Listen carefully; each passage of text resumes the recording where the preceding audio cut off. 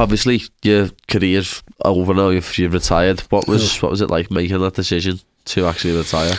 Well, that, that was, was a tough one. It's really hard. Like I try, I try to explain it to people a lot of times. Like what you, you think about it, you like I was I was what almost forty when I decided to retire. I was forty when I decided close to forty when I decided to retire, and you're you. I mean, I've, I've been getting ready for for a sport for the last thirty years. Yeah.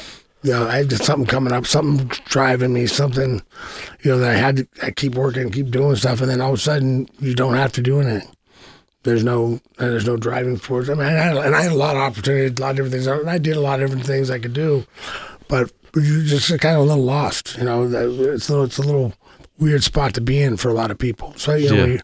you, you, you still got a lot of things to do, but you gotta you gotta find something that drives you for a while. Yeah, you know, something something to get get motivated, get get you motivated, get you excited, you gotta, and you got to keep doing stuff. You know, it's one of those things you just can't just stop. What what you miss the most about fighting then? You know, I I don't I don't I don't know what I miss the most. I mean, I I miss being out there and fighting for sure, but I miss everything. I, I liked training. I liked um, showing up at the gym with the guys, you know, just and just being there. Like, I used to always say, well, we take a couple months off in between fights, but I, I never took a couple months off. But what I meant by taking a couple months off meant I wasn't the focus of the trick. Yeah, yeah. And I still had to be back in camp usually by Monday. You know, Monday. If I wasn't traveling doing doing PR, I'd I'd be back in the gym Monday sparring with somebody's getting ready for a fight. Yeah, either Glover or, or Lighty or one of, one of my guys was getting ready, so I'd be back to help them out. Yeah, I, I just like I can't even see in the future already. Like I know obviously you've got to retire one day. I just can't see when that day is going to be for me. I don't know when I'll get sick of fighting.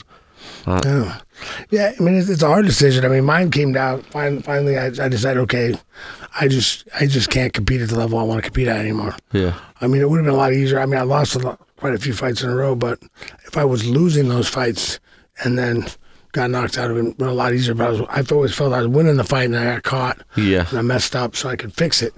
You know, and, but that, what the last one, like, I finally went. You know, I just I, I, got everything the best I could do. I did everything the best I could to get ready for this, and it still ended wrong. So, uh, you know, I just kind of hung it up. Yeah. And I, I knew I knew I did. I mean, Dana talks about it too. It's funny. Dana, I, I, think Dana says he made me retire, but we had a meeting, and he, and in all intents, he did intend on telling me he was going to let me go. Yeah. And it's gonna, uh, if you want, I, I'm not going to fight you anymore. But the first thing he said, I said, "So what, what are you going to do?" I'm like, "I'm done. I just can I just, I just have a couple months to before I have to deal with it in public. You know, I just don't want to. You know, yeah. I wasn't ready to. I wasn't ready to let it go. Um, and and he's like, "Yeah, sure. Oh, thank God. I was, you know, I was going. To, I was coming here to tell you, I'm not going to fight you anymore. Just please stop." And I was like, "But you know, so I." I guess I don't know. He doesn't. I've heard him say, "I'm like, I, I was there at that, that dinner. I, I know that's what you planned on saying, but you, we, I told you I, I, I, I decided yeah. I didn't want to do it. So